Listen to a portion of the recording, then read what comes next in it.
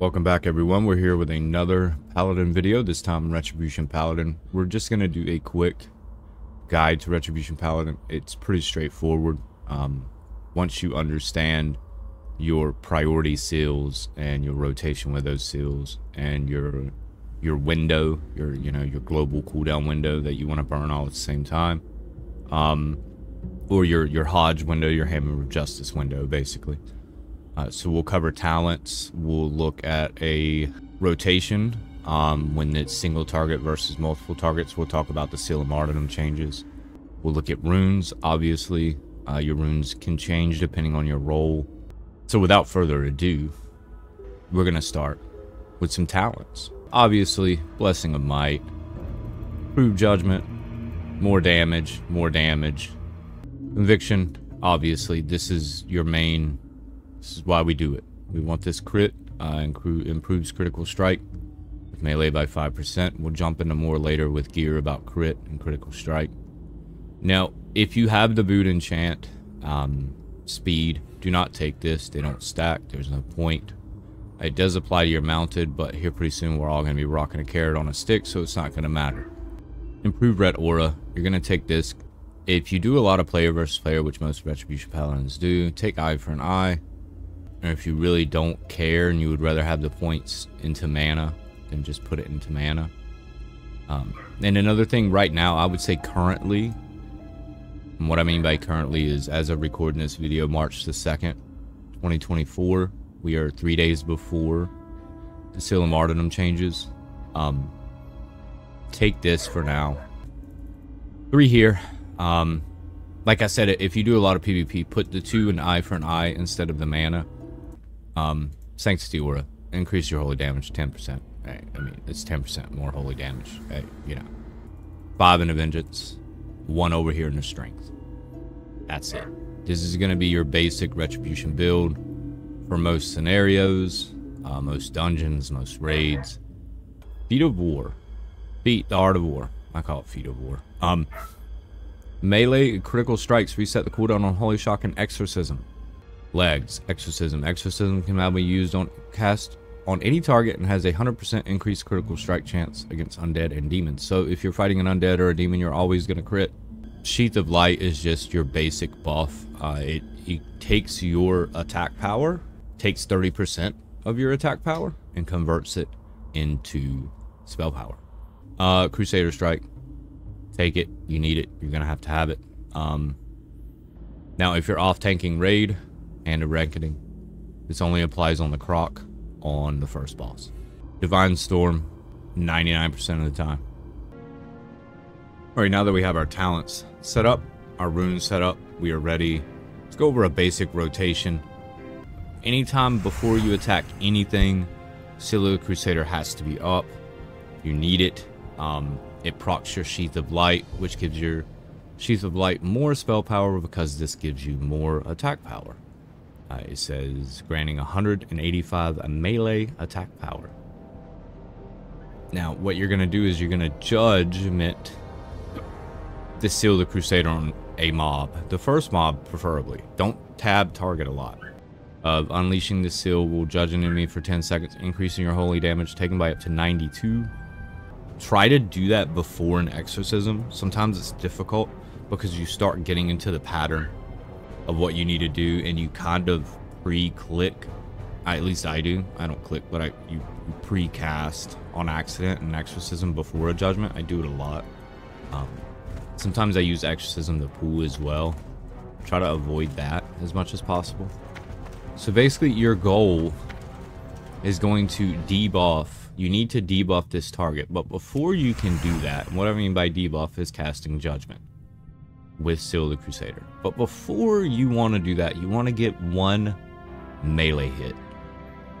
Make sure you have Blessing of Might up all the time on yourself or another paladin having it up on you.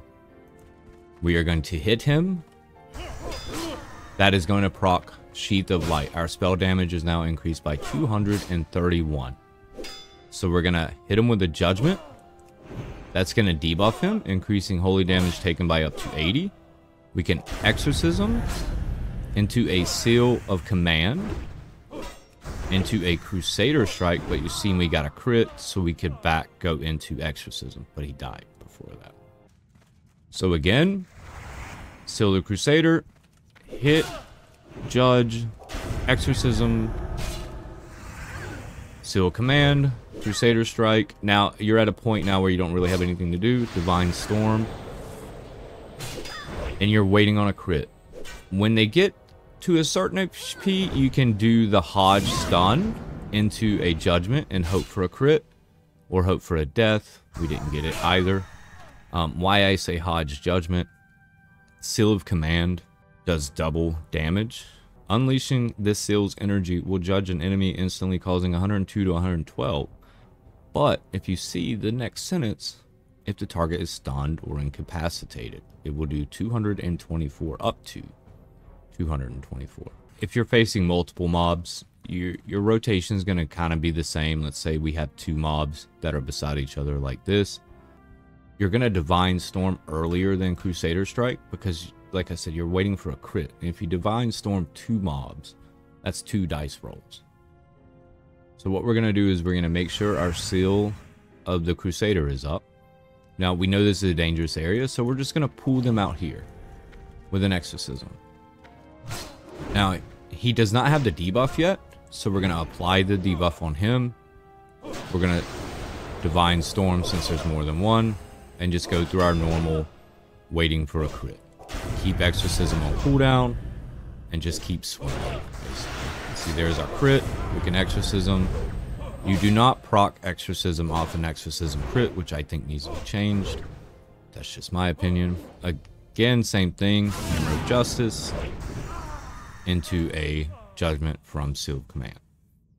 I would even say prioritize Divine Storm over Crusader Strike if there's multiple targets. Because this is one dice roll. This is up to four dice rolls. On a crit, and you're almost guaranteed a critical strike. Any advanced rotations, that's going to come later. We're, we have to see what's going to happen with Seal of Martyrdom. Uh, it is getting a buff. Will it take place of Seal of Command? We don't know. Uh, it, it, the problem with Seal of Martyrdom is a single target. Uh, I don't think that was what should have been done for Paladins. I think we needed a baseline attack power increase, maybe by 20%. Divine Storm will always reign supreme in dungeons. Seal Martyrdom, we need more numbers, and we're going to get them. I will be raiding today on stream if you want to come by and watch. We'll be doing Gnomer, and I will be using Seal Martyrdom, the entire raid. Um, we're going to give it a try. Now, for any form of add-ons, you really don't need a lot. Like, if you look at my screen, I have more add-ons than you would believe. Um, you don't need a lot of add-ons. You hardly need any, to be honest, to play World of Warcraft. You need none to play World of Warcraft. You know, you want some to play World of Warcraft. So, the basic add-ons I would definitely tell someone is a swing timer. Uh, they're easily you can find those anywhere. Uh, if you haven't downloaded the app called Curse Forge, make sure you download this app. You can get this app from the Curse website. It is a basically a program that you will open on your computer and you can search for add-ons, swing timer. It will automatically install them for you. You just hit install. It'll do what it needs to do. Um, you can go to the website as well. At the Curse Forge website, you're going to go to World of Warcraft. Um, you can search for Swing Timer as well. Uh, and then over here on the left, you need to make sure you have WoW Classic selected because they all don't work with each other. You have a pretty one here called Weapon Swing Timer. It'll show you main hand, offhand. You have some settings you can go through. Uh, you have some appearance. Don't it'll tell you when to not do stuff, which is great. You're gonna hit install on the Curse Forge app. It's gonna ask you your game instance. You're gonna hit classic and you'll hit install. And that is it. You will open this app every time you play just to make sure there are no updates. It will auto update for you. Great app. So I want to talk about some retribution tanking. Uh, you will be tanking as Retribution. As you can see in the clip behind you, this is tanking as Retribution. Uh, there's only a few things you're going to change. You are going to get rid of your Crusader Strike for your taunt if you need it. If your DPS is low, then get taunt. I did not have taunt here. If you look at my bars, I didn't need it. Just remember, Kill of the Crusader, melee, judgment, exorcism. If there's more than one, Divine Storm. If there's one, Crusader Strike. Keep these three abilities on cooldown. Hope for a crit. Seal of Command for now. This might change. Stay tuned. Uh, Off-tank Raid. Switch to Hand of Reckoning. If you have a shield in your inventory, you can put on Avenger Shield and just weapon swap. Then keep Avenger Shield on cooldown. What I mean by that is have your macro for your weapon or a keybind for your weapon and a keybind for your shield. Uh, put on your shield, cast Avenger Shield, put back on your weapon, and attack. Uh, rebuke might be your better option if you're off tanking Gnomer. First boss requires regroup, uh, rebuke. You will be silencing the croc. Petrify has to be silenced. But that'll be it pretty much for this retribution guide. I didn't want to go into too much detail. We're not going to number crunch. Um, it's pretty straightforward, very simple, very to the point. Make sure you guys like the video. Leave a comment down below. Thanks for being here this long. And enjoy the Paladin. And I'll keep you updated. And I'm sure there'll be plenty of YouTube videos about the Scylla And I'll try to get one out as well. Uh, and we are going to be running it tonight in Gnomer. So come by the stream starting around eh, 5 p.m. East Coast. See you in the next one.